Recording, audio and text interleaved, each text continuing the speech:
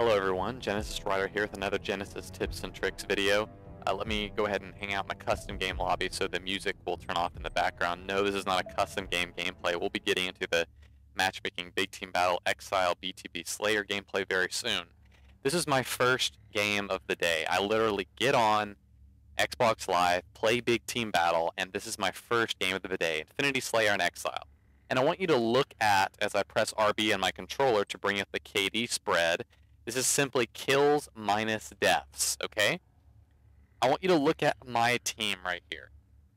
Every single one of the people on my team go negative. What this means is that they get more deaths than kills. Now, I had a minute and a second as my average life.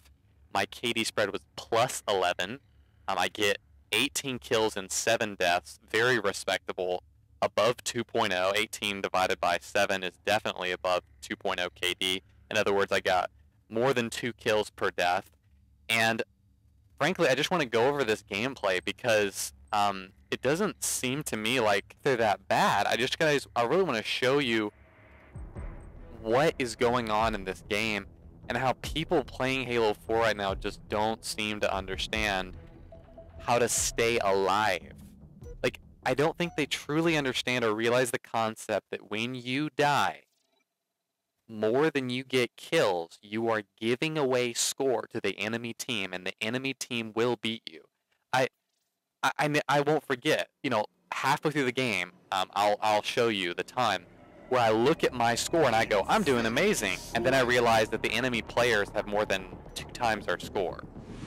So guys, off the spawn here, um, I know the enemy team is going to be pretty decent, so what I'm going to do is I'm going to go straight for the sniper rifle, which spawns to our right here. Thankfully, there's um, no more Gausshog on Exile uh, once the update has occurred.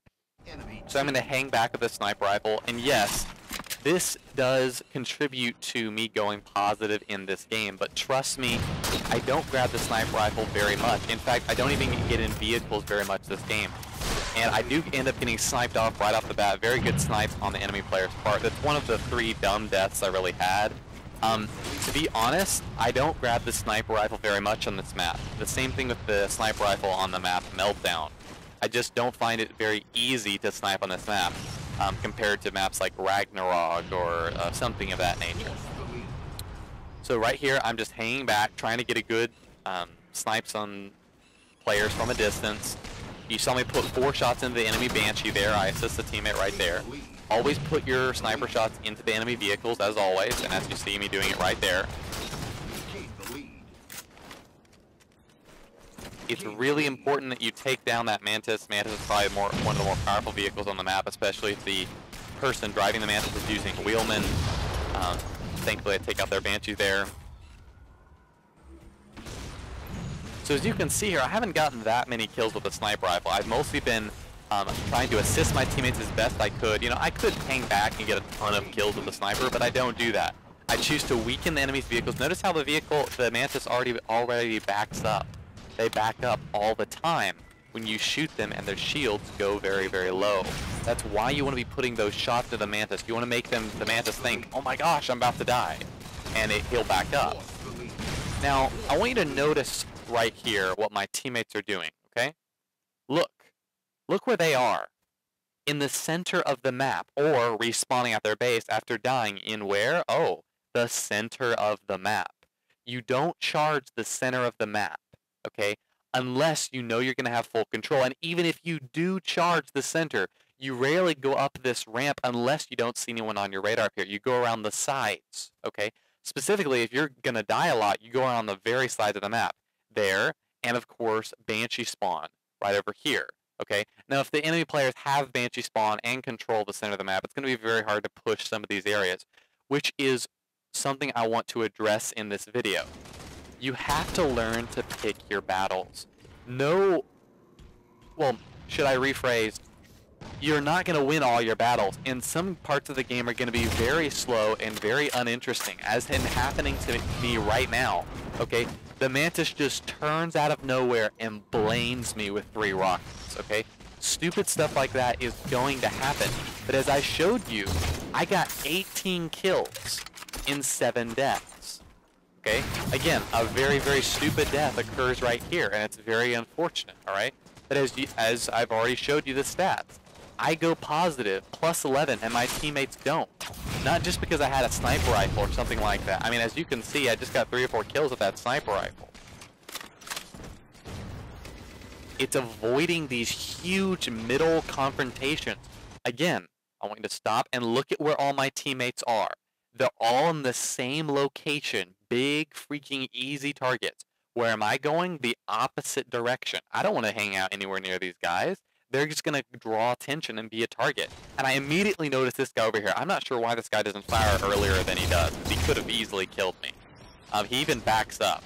That was a really good nade. Um, and ends up blowing up to the right here. Um, it, all, it goes all the way over here, which was kind of insane. I didn't mean to bounce it that much. But um, I'm to charge up here and try to take out this guy. Again, crouching, staying out the radar, and look at this guy making the mistake of charging because he doesn't know where I am. I'm to call down this overshield. And I'm to end up pursuing this kill, which is probably a bad idea. When anyone's, anyone smart sees that you have an overshield, they're to back away, like that guy just did. He backs away to first so I can waste my overshield. Now, I do end up getting this kill here, but the Mantis ends up destroying my overshield. And as you can see, the Mantis is now on fire. I highly doubt the Mantis would be on fire if I hadn't put those sniper rifle rounds into him earlier in the game. And he does end up dying. Right here, I want to definitely push forward and help my teammate out here. And notice how you, I just shoot through the smoke and grab a random headshot, but I don't push up because I know the enemy player has a saw. You see how he's pre-firing around the corner? He's shooting at this corner even though I, I haven't come up here yet. I'm just going to jump out and give him a really nice... Actually, a, later on I give him a nice crispy four shot. Now, I know that this enemy rocket hog knows we're here. Okay, they have a radar too. So what he's going to do is he's going to fire more rockets right here. And, uh, and that's exactly what he's going to end up doing. Again, this is how my thought process was in the game. It's not just because I'm going back in theater and rewatching the film. Guy gets a really nice crispy four shot and gets raped. I grab his saw, and unfortunately, I believe there's a point somewhere in here where I end up dying, really unfortunately. I go down this ramp to my right, I believe, right here, and I end up getting killed. Yes, I do end up getting killed right here by the enemy beam rifle carrier. I did not see that guy right here who has the beam rifle. I had no clue. I was way too focused on the enemy Warthog trying to see where he was and kill him. And I end up getting punished for that it's strange that things would go back in a theater film and notice. Um, I haven't scripted this theater film at all. In fact, this is the first time I've actually gone through the theater film, so I may um, be rambling a little bit here, but I hope you guys can understand what I'm trying to get at. And notice where I'm going in the map. I'm not hanging out where they're hanging out. They're on the freaking center of the map. And yes, it's going to be slower over here, but over here I can pick my battles. And specifically right here, I end up doing very, very well. In fact, I may add this to my um, YouTube video I'm making on how to stay alive. This specific portion right here. This is the kill you want to you want to charge and you want to get because I already had shots of him coming across the lift. I was one shot ahead of him, so I knew I could finish that kill. Now this guy, now notice what I see here.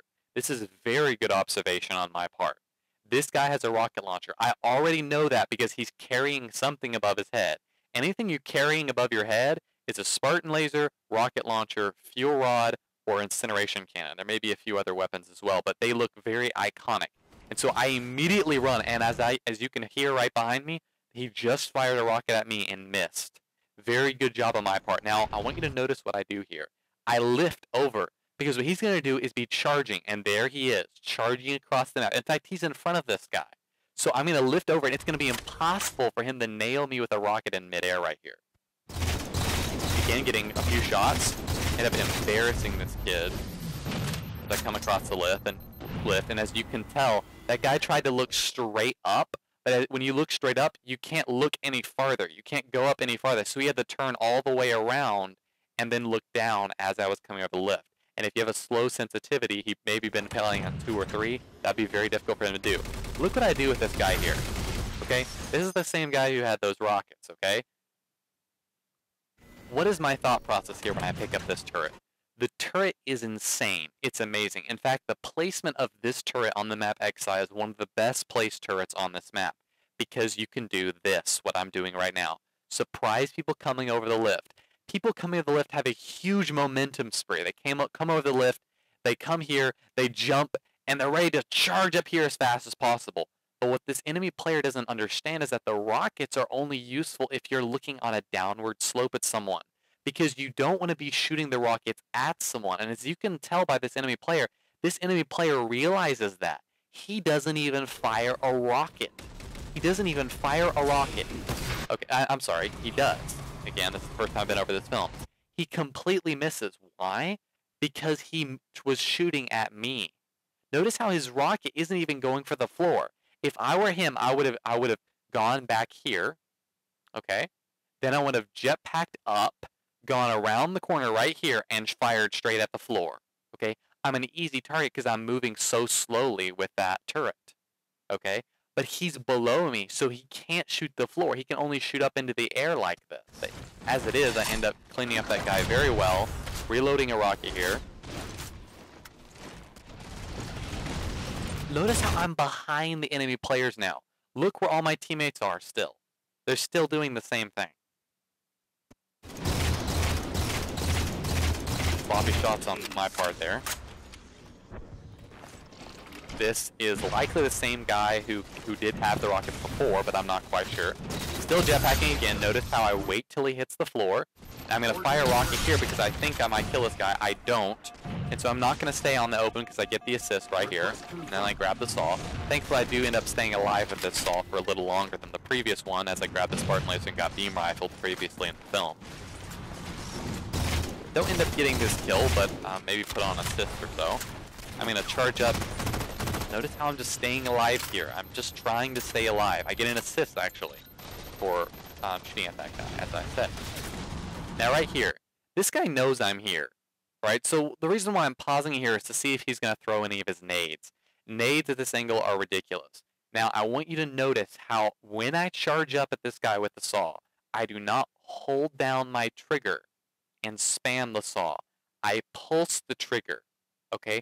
pulsing allows you to retain your accuracy and allows all your bullets to hit the enemy player.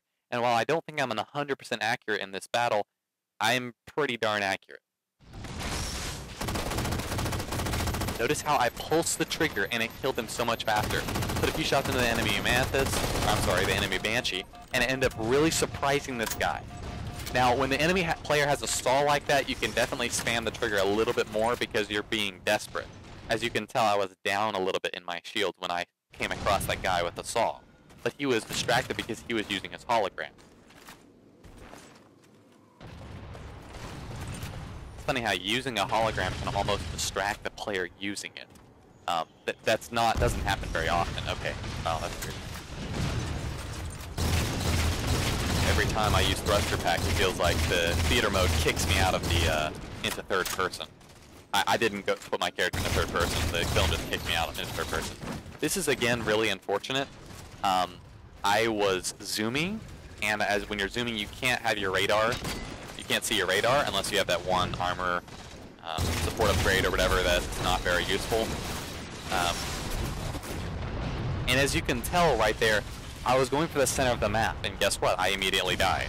Okay, which is a great, another great example for this film.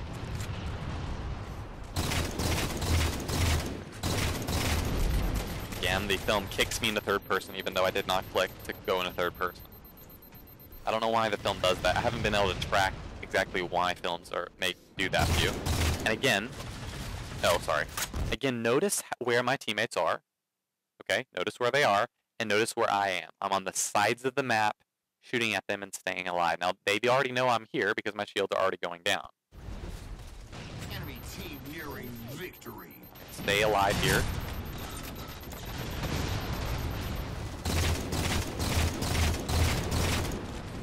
Get another good kill.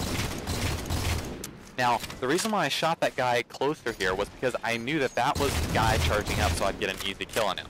Now right here, I don't think I actually get this kill. I think the game ends before I'm able to get the kill, unfortunately. But guys, that's how you stay alive on Exile, um, even against vehicles. Um, and I hope that explains to you a little bit why I, I don't know. A pet peeve of mine. I just get frustrated with enemy or teammates who really just don't know what they're doing. They don't know how to stay alive, and um, hope this uh, allows you to be a better teammate in the future to your teams that you're on in Halo 4.